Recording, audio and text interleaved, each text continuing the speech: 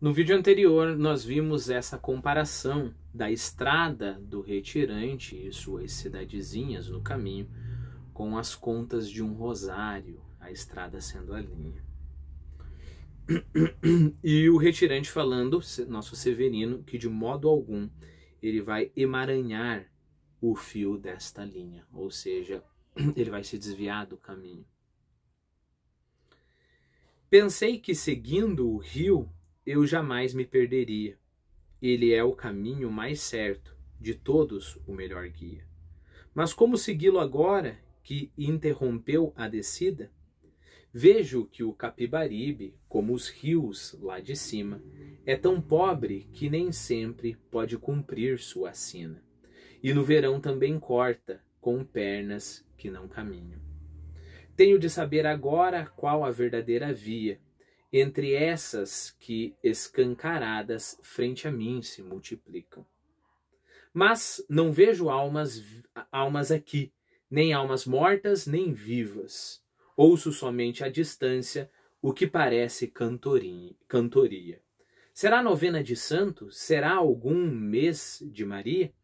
Quem sabe até se uma festa ou uma dança não seria? Só morte tem encontrado quem pensava encontrar vida. E o pouco que não foi morte foi de vida severina. Aquela vida que é menos vivida que defendida, e é ainda mais severina para o homem que retira. Penso agora, mas por que parar aqui eu não podia? E como o Capibaribe interromper minha linha? Ao menos até que as águas de uma próxima invernia me levem direto ao mar ao refazer sua rotina. Perceba como ele vai ser muito parecido com o rio, né? Então vou ficar uns tempos aqui até o pior da seca passar. Quando as águas do rio voltarem, eu volto também a caminhar. E como a gente espera que o rio consiga chegar ao mar, eu também vou conseguir. Na verdade, por uns tempos, parar aqui eu podia e retomar a viagem quando vencesse a fadiga. Ou será que aqui cortando agora minha descida, já não poderei seguir nunca mais em minha vida? Será que a água desses poços é toda aqui consumida pelas roças, pelos bichos, pelo sol com suas línguas? Perceba, porque a, a, do momento para outro ele começou a falar da, da água do poço, né?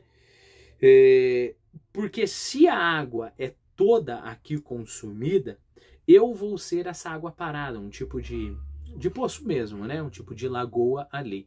Mas, ora, eu vou ser uma lagoa que tenho que conseguir preservar a minha água, a minha força, para que quando voltar a chuva eu consiga fluir como um rio.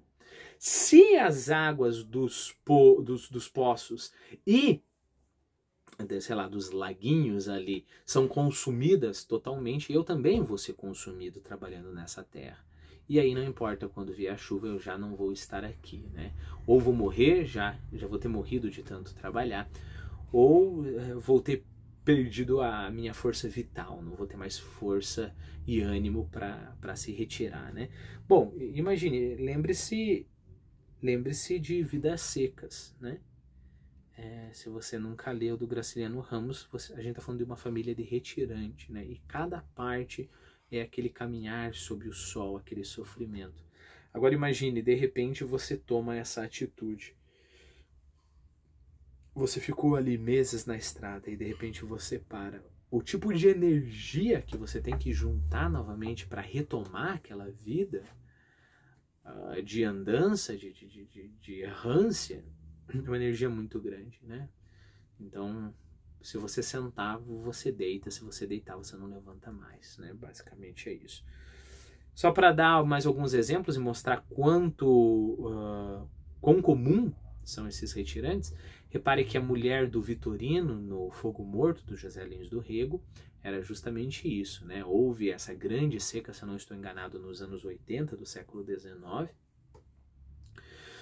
e ela foi uma dessas que fugiu da seca, né? E aí eles fugiam da seca e chegavam nas cidades mortos, né? Muitos iam morrendo no caminho, praticamente mortos. É, a Gabriela, do, do, do, livro Gabriela Cravo Canela, do, do Jorge Amado também é assim, né? Ela, ela, é uma retirante, ela chega lá toda desgrenhada, um bicho, né? E aí o. Puxa vida, eu esqueci, faz tanto tempo que eu li Gabriela Cravo Canela, mas tem lá um, um vendeiro lá, né? O cara tem um tipo de, de bar, assim.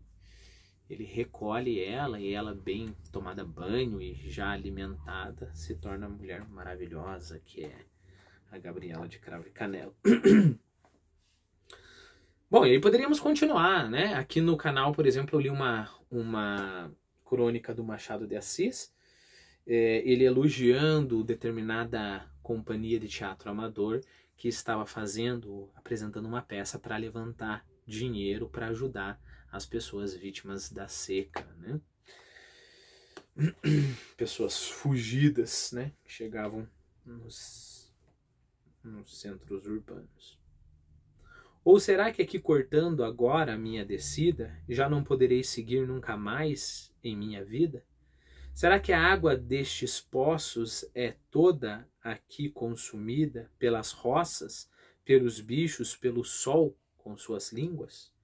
Será que quando chegar o rio da nova invernia, um resto da água do antigo sobrará nos poços ainda? É, mas isso depois verei. Tempo há para que decida.